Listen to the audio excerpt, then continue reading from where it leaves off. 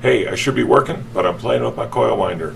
John Lauer recently recorded a couple of videos to show you how to clone a, a, uh, workspace for your own motion control projects. Let's see if I can get it running in my coil winder in under 60 seconds. First thing you see is I'm logged into GitHub and I'm going to search for ChiliPeppr.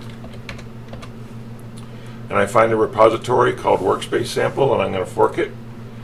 And I'm going to fork it into my repository here. So I have a, here it's now forked into GitHub. Then I'm going to go to Cloud9, click on my repositories and scroll down and find my workspace sample, clone to edit. So now it's pulling over the, my GitHub repository into Cloud9. It's creating my container and it's going to start executing it. First thing I want to do is hit run JS. And I want to run that.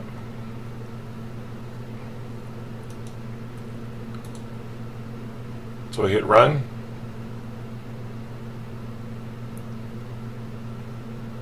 And then I hit the preview. I want to preview the, the running window.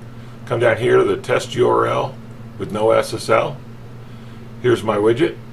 You can see that uh, my server showed up. Here's my uh, Grbl board. Here's the serial port console. There, I'm doing that. Let me go ahead and spin up the y-axis. There you go.